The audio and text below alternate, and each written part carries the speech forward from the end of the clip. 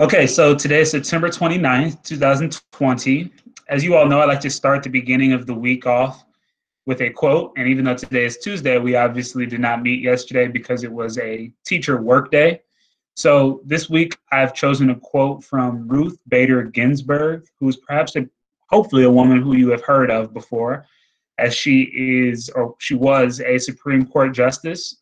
She recently passed away, and her death has been in the news for a number of reasons. Um, not the least of which is because she was only the second woman in the history of our country to sit on the Supreme Court and one of the few Jewish Supreme Court justices as well. Um, additionally, yesterday was the end of Yom Kippur, which is a Jewish holiday. So I chose this quote not only to recognize um, Justice Ruth Bader Ginsburg's passing, but also her her religion and the ways that she was able to be a trailblazer for both women and Jewish people. And the quote is fight for the things that you care about, but do it in a way that will lead others to join you. So, what this quote means to me is that we all have passions in life, we all have things that we care a great deal about. And we all want to defend those opinions and those beliefs and those values and ethics but sometimes doing so can lead us to being defensive or offensive or problematic in some way. But if you can honestly say to yourself that you're fighting for the things that you believe in and the things that mean the most to you in a way that is going to allow you to recognize others' humanity, that is going to draw them in and inspire them, that's when you can say you're fighting for the good cause.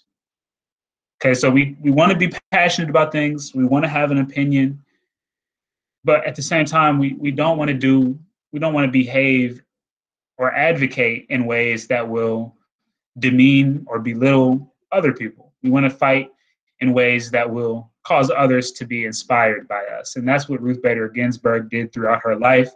She was a champion of women's rights. Um, she sat on the Supreme Court, which hopefully you all know is the highest court in the land which means that they do not really they don't they don't really discuss you know basic criminal charges or civic civil uh, cases, but they they discuss cases that have already been decided by lower courts, and the Supreme Court decides if those if those cases were decided correctly. And so these are some of the most controversial and some of the most complicated arguments um, in the history of our country and only nine people at a time sit on the Supreme Court, but they can sit on Supreme Court for their entire life. So um, Justice Ruth Bader Ginsburg was a Supreme Court justice starting in the 90s. She was appointed by Bill Clinton, and um, she she sat on the Supreme Court until her passing a couple of weeks ago. So it's a lifelong appointment. It's a huge deal, and um, we should certainly be proud of all that Ruth Bader Ginsburg contributed to our country. All right, so go ahead and take your notes out. Hopefully, you already have them out. But the title of today's lesson is Cell Membrane and Homeostasis. Again, this is Unit 4, Day 3. So hopefully, you are taking good, organized notes. Good, organized notes definitely should highlight the title of the lesson and when the lesson was taught. The objective for today's lesson is that biologists will be able to explain how the plasma membrane maintains homeostasis. And the essential question that we will seek to answer asks, how does the membrane allow certain substances in and others out to maintain homeostasis?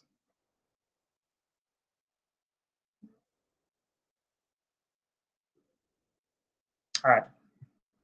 Let's go ahead and jump into it. Hopefully you have your notes out at this point. So again, the highlighted phrases and sentences are what you should hope to write down. So here's the definition of homeostasis. We talked about it way back in unit zero when we introduced the concept of Stirninger, but here it is again. Homeostasis means maintaining a constant and stable internal balance maintaining a constant and stable internal balance.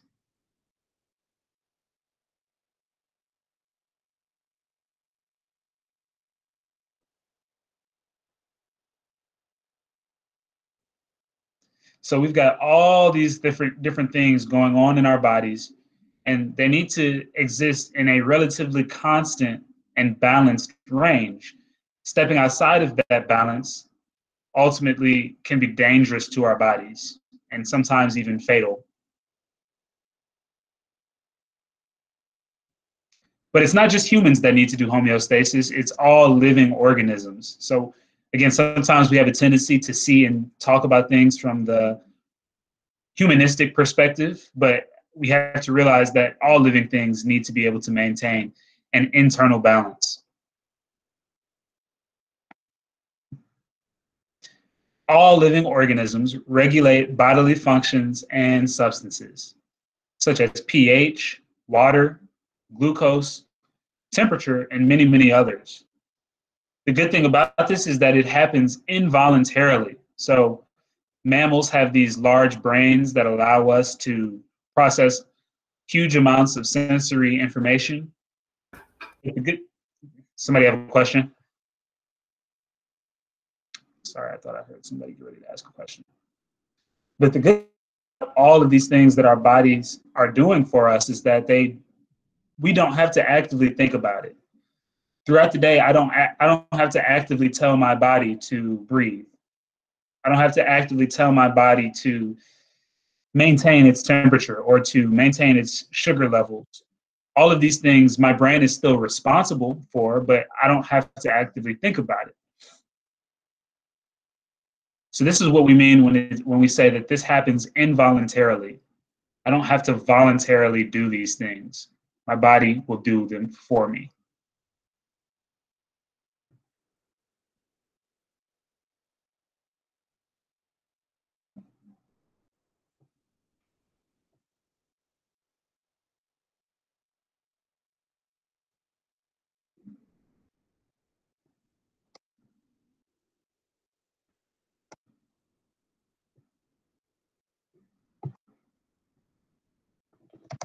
Okay.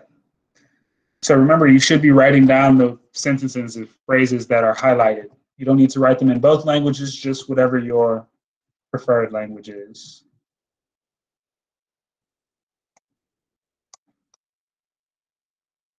So down there at the bottom of your screen, you've got a definition for pH. You don't need to write that down. But pH is a measure of how much hydrogen is in a substance. That's why we have the capital H. It represents hydrogen.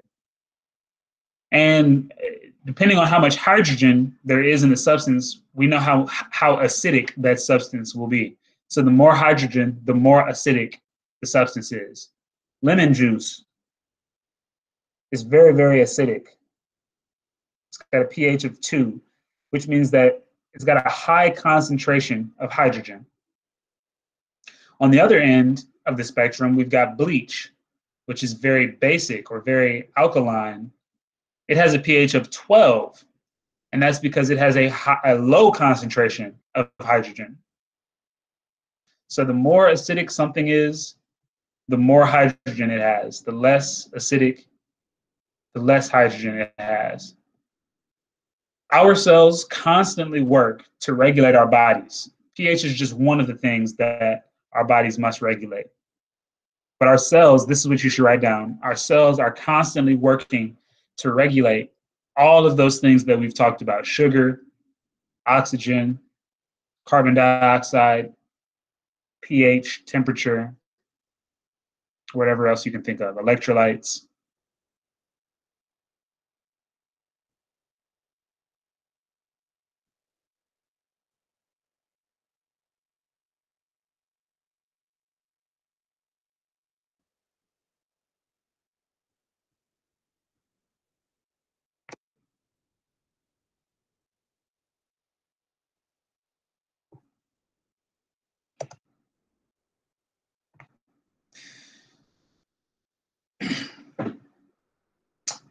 And the way that our cells are able to regulate all of those different substances is by use of the cell membrane. And that's what we're going to talk about today. But we can see that within our bodies, within humans' bodies, there's a very small range at which we can still be healthy. So here's an example of what I mean by that, specifically as it relates to pH. So our bodies can really only exist healthily between a pH of 7.35 and a pH of 7.45. So that's a really, really small normal range.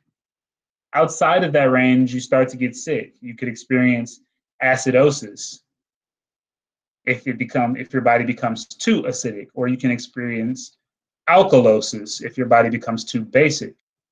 And then even small variations can lead to fatal conditions. All right, so our body has a hugely important responsibility of maintaining this normal range of pH. And if you go to your doctor and you get blood work done, they can actually look and see, you know, what your pH level is. And they may make some recommendations about how you can monitor your pH and maintain a, a more normal pH um, if you're outside of the range. So sometimes people need to drink what's called alkaline water. So if your blood is if your blood is too acidic and you're over here, sometimes drinking alkaline water can push you back into the normal range. That's just for those of you who may be interested in anatomy or the human body or medicine. All right. But as I said, the cell membrane is ultimately what is responsible for homeostasis. The bullet point that you should write down says homeostasis occurs at a cellular level where the cell membrane regulates what enters and exits.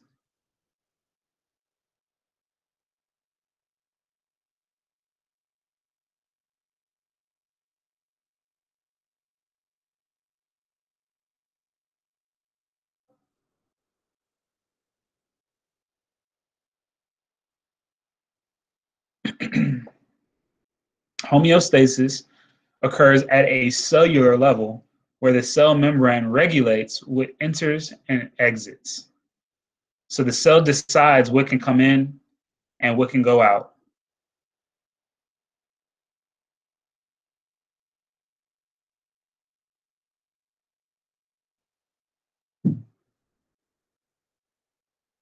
All right. The properties of cell membranes that allow them to do this are important to note. So again, you should be writing down the words that you see that are highlighted. If you want to write down these other words that come after the colon, you're more than welcome to do that. And I think you should if you have time, but we really definitely need to make sure that we're writing down the highlighted words here.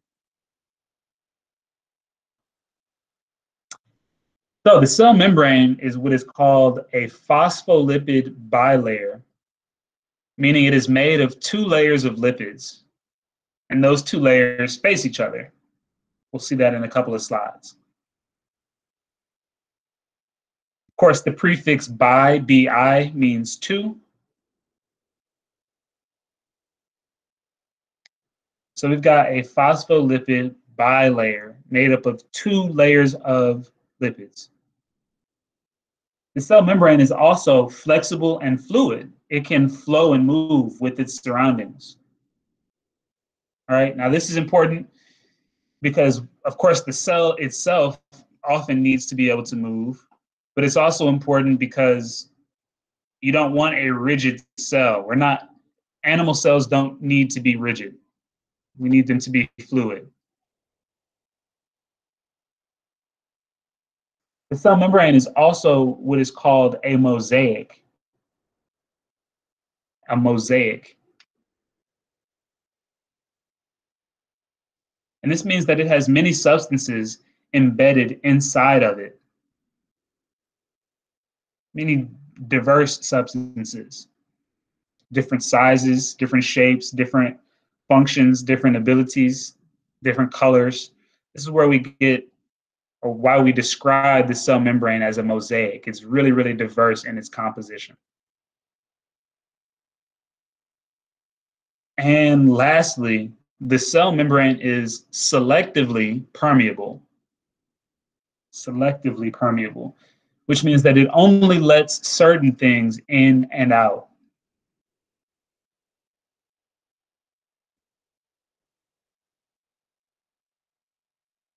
So it's picky, it's choosy, it selects what comes in and what goes out. Not everything can come in, not everything can go out. And this is obviously important.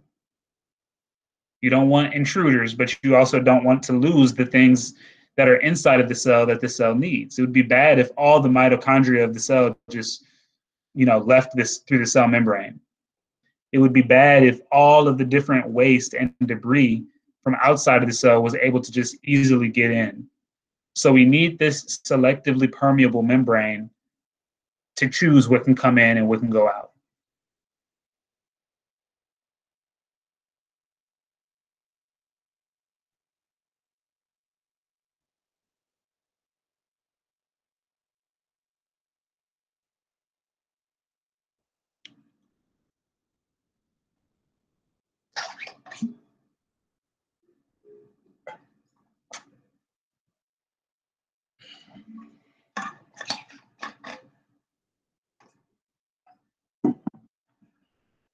Okay.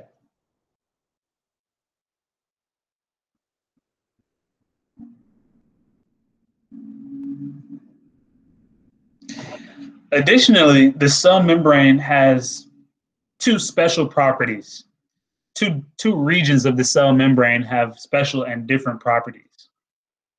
One region of the cell membrane is hydrophobic.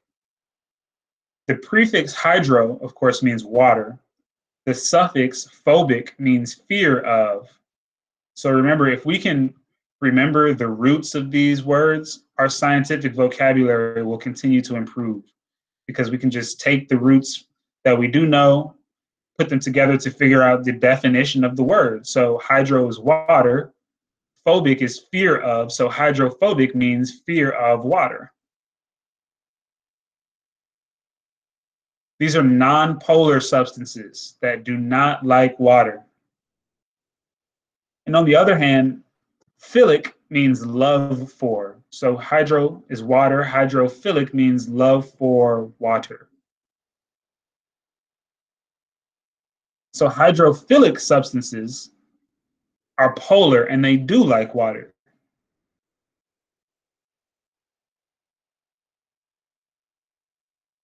Hydrophobic does not like water. Hydrophilic does like water. So please make sure you're writing down the definition, definitions of hydrophobic and hydrophilic.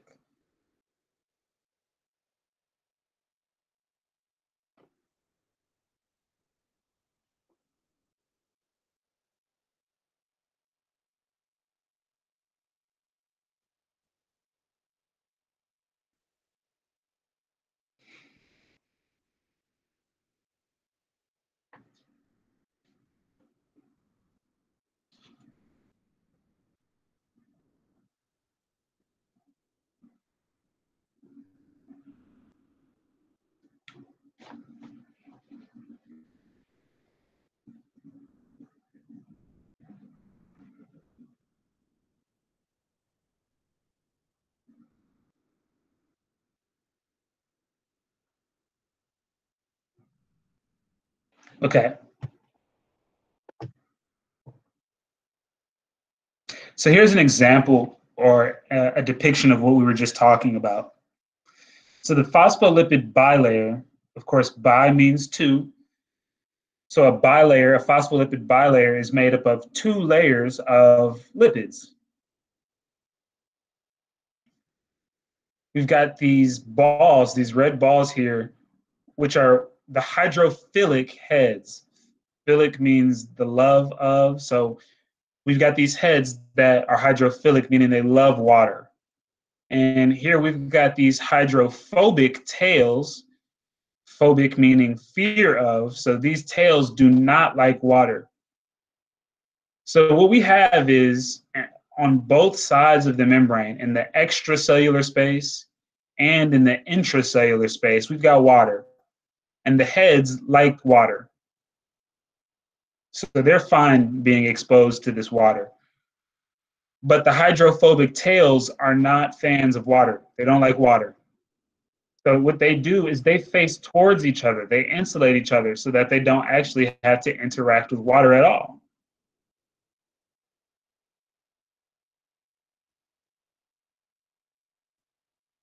To really understand this, I want you all to draw this in your notes.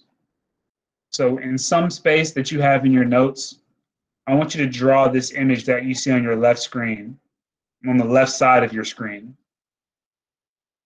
We've got the extracellular space, we've got the intracellular space. Extra means outside, so outside of the cell. Intra, of course, means inside, so inside of the cell. I want you to draw five circles in your notes to represent the hydrophilic heads, the heads that like water. Draw five circles to represent that. I also want you to draw five pairs of curved lines to represent the hydrophobic tails. So your curved lines should just come right out of your hydrophil hydrophilic heads.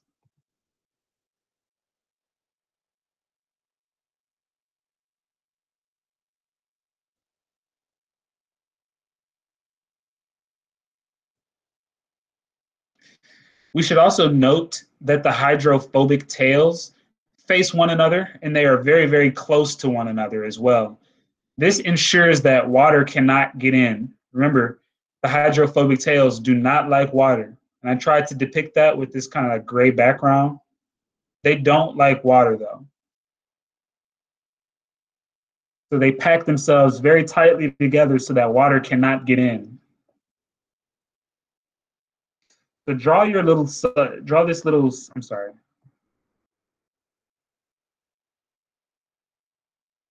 Draw this little section of a membrane over the next 30 seconds. It does not need to be your masterpiece. We just want to make sure that you have this in your notes.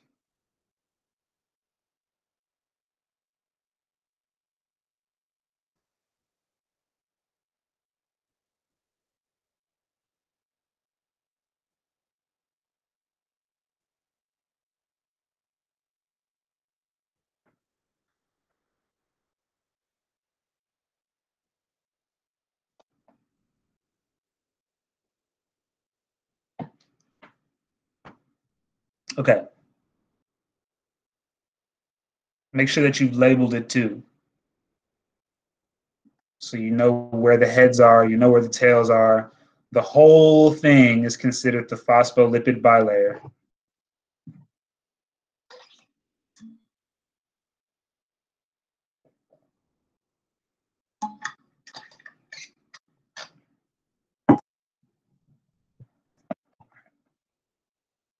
Nothing for you to write down on this slide. I just wanted you to see this image, this animation of what's happening. You can see how fluid the membrane is. It's still able to move, but you can also see how tightly packed those phospholipids are. So we've got the, the balls, the blue balls that represent the hydrophilic heads, and then we've got those light blue strings hanging down, which represent the hydrophobic tails. There's some movement that is allowed, as you can see, some of the hydro, sorry, some of the moving. Question? Do we gotta write that down? No, nothing for you to write down here. All right. So we can we can just see how it's kind of bouncing up and down. It's moving with its surroundings. I'm gonna skip that. You should write this down. You should write the definition of a protein channel and the definition of a carbohydrate chain. So your protein channel is a large protein that crosses through the membrane. Most of them cross through the membrane. And they allow things to move through the membrane that otherwise could not get through on their own. So there are some things that just don't fit through the membrane or they don't interact well with the hydrophobic tails. So they need the help of these proteins that serve as tunnels to get through the membrane from the outside of the cell to the inside or vice versa. So those protein channels help move large molecules through the membrane that cannot move on their own.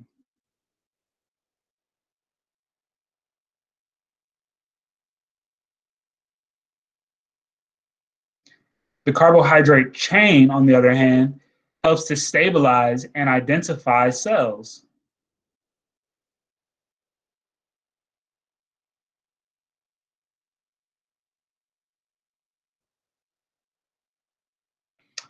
So the carbs that are inside of the membrane are there because we don't want the cell to move too much. We don't want the cell membrane to be too fluid. It needs to have some structure to it. But we also don't want it to be too rigid. So we have carbohy- carbohydrates there in order to stabilize it. It allows for just the right amount of movement.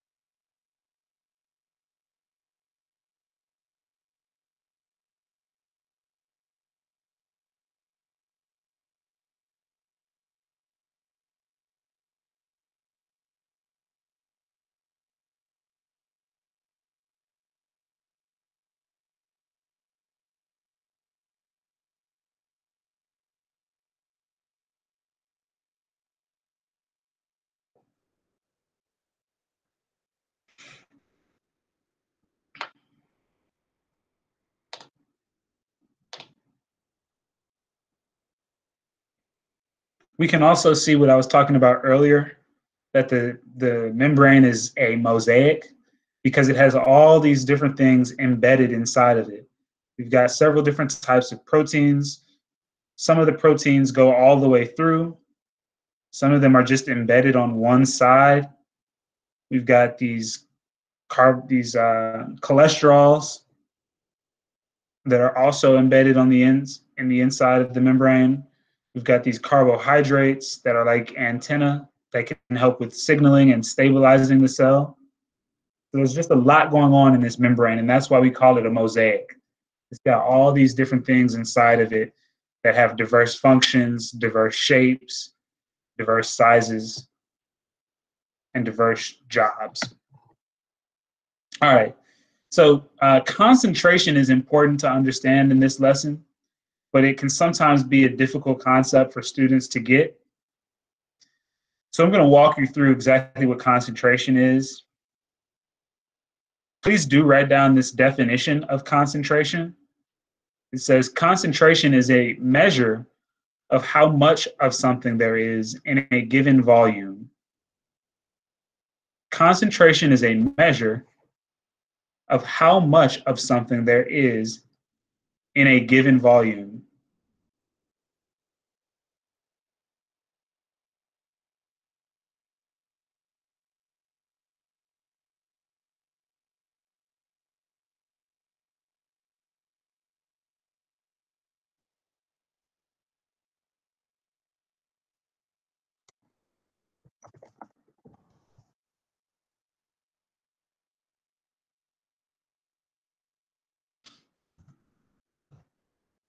Okay. So this is the same definition from the last slide. So if you've already written it down, no need to write it again. And you don't need to write this down.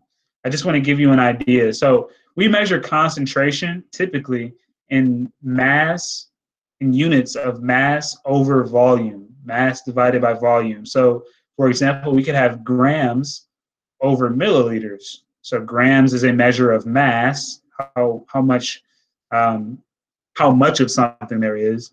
And then milliliters is a measure of volume, how much space of something there is. So grams per milliliter, or we could do grams over cubic centimeters, grams per cubic centimeters, moles per liter. This is one that you'll explore in chemistry, moles per liter, or pounds per gallon. These all measure concentration.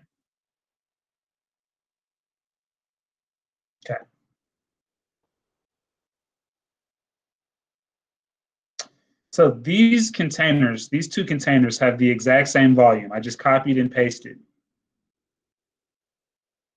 But we can tell that they have different concentrations of the things inside.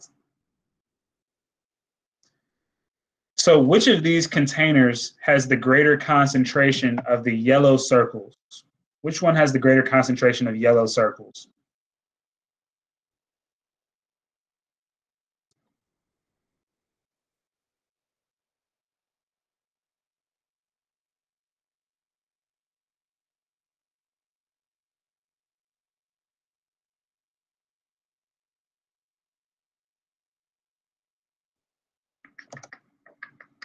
Which of those containers has the greater concentration of yellow circles?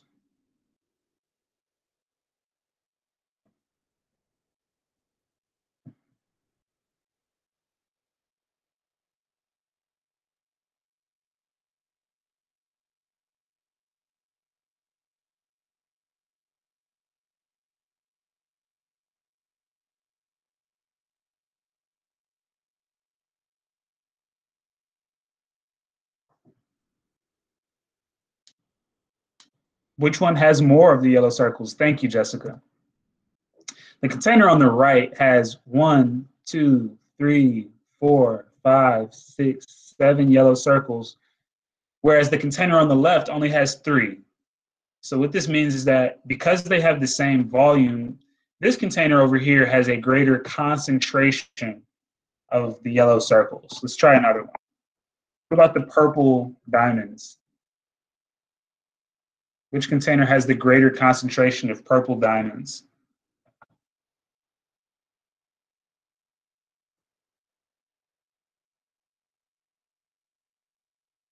Thank you, Jessica, yet again.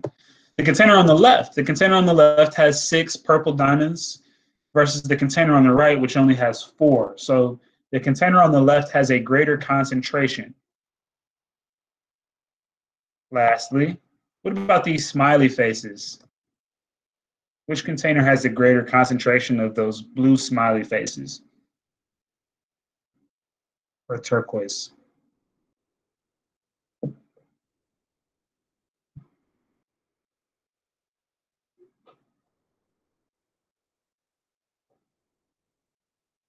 Thank you yet again, Jessica. They have the same number, okay? So this is important because this is a concept called equilibrium, and this is what we'll explain in a couple of slides.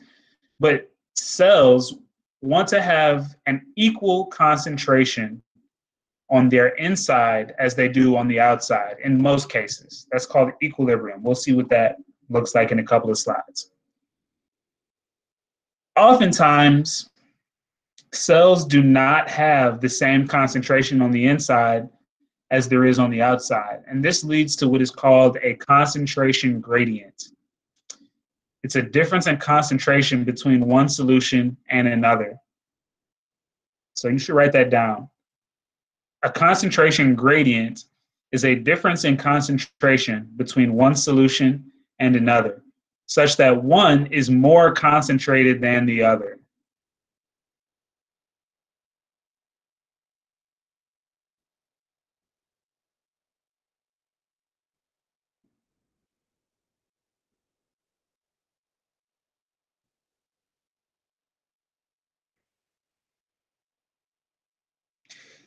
In this image, we can see what this looks like.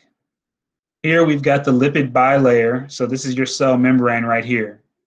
On the top is the extracellular space. So this is outside of the cell. And then on the bottom, we've got intracellular space. So this would be inside of the cell. So what we can notice, what we should notice is that to begin with, the concentration on the outside of the cell is way higher than it is on the inside. I've got, I think probably, I think this is 28 of these blue molecules to start off with on the outside of the cell and zero on the inside. So this is far more concentrated. Then as time goes on, we should start to see that this concentration gradient is still there, but some of the molecules are moving on the inside of the cell. They're moving through the membrane to the inside of the cell. So the concentration gradient is still there because this extracellular space is still more concentrated. And the intracellular space is less concentrated, but it's starting to correct itself. And when I say correct itself, what I mean is it's starting to approach equilibrium. The goal of a cell, and I'm reading from this first bullet point here, you should write this down the goal of a cell is to be in equilibrium. This is when the concentration of molecules is equal on both sides, on the inside and the outside of the cell. That's the goal of all cells, to achieve equilibrium, usually.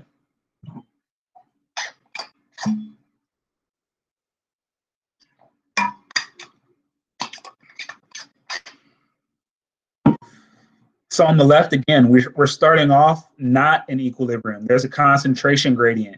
It's more concentrated on the outside and it's more diluted on the inside, meaning less concentrated. Then, then as time goes on, some of the substance flows through the cell membrane inside of the cell. And then eventually we will reach equilibrium where now you've got the same concentration on the outside as you do on the inside.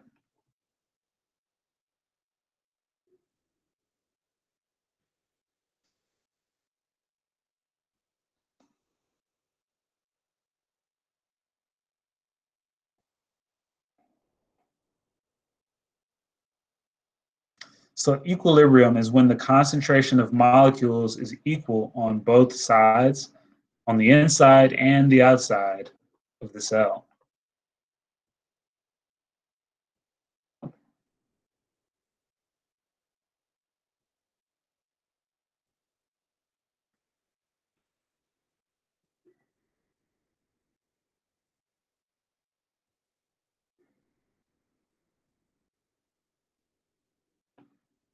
All right. so as we saw here, we can see that some of these substances are moving through the membrane.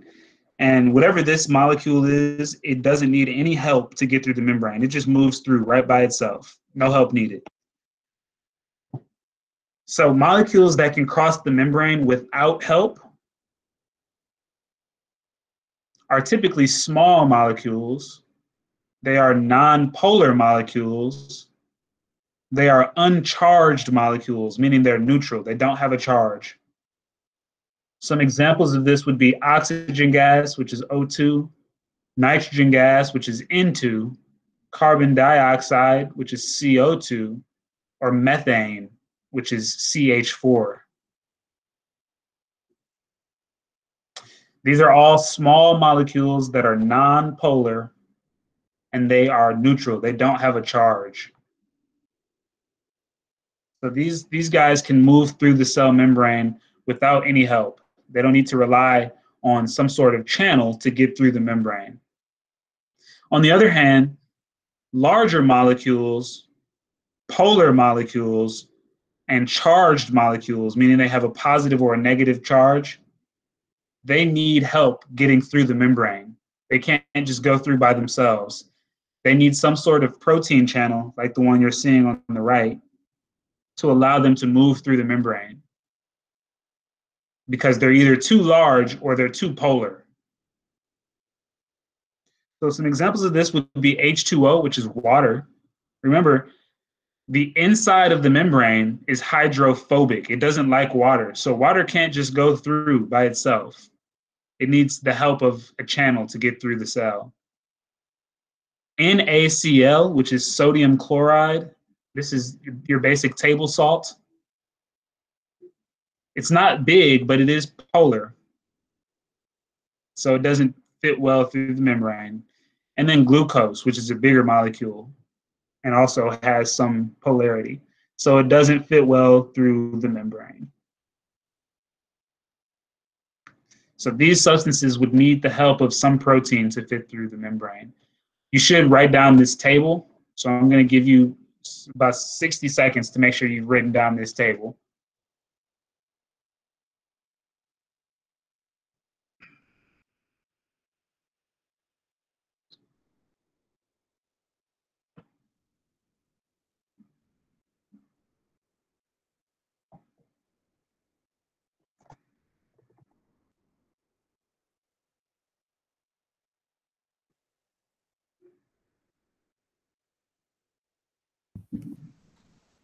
Hey, I came in a little late.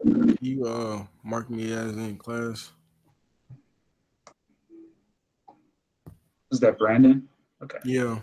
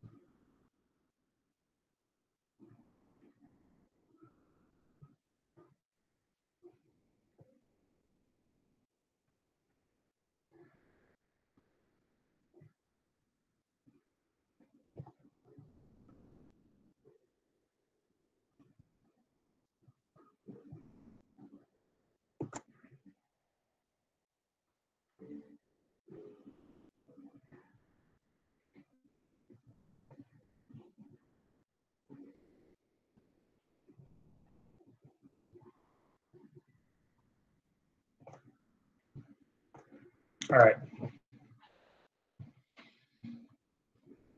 So we've got about 25 minutes left, and your assignment is to complete the exit ticket. And then there's also an assignment um, called the Interactive Cell Membrane Work and Questions, and it's going to take you to this interactive uh, simulation of the cell membrane. It's got very explicit and, and uh, direct instructions. So you'll walk through this activity, and at the same time, you'll be able to answer the questions that are on the Canvas quiz for the day. All right, so you should probably have both open at the same time. If you open up the assignment on Canvas, the link to get to this interactive simulation is there. We've got about 25 minutes left in class, so that should be plenty of time to do that assignment as well as the exit ticket. And if you need me to go back to any slides to get some of the notes that you may have missed, please just let me know.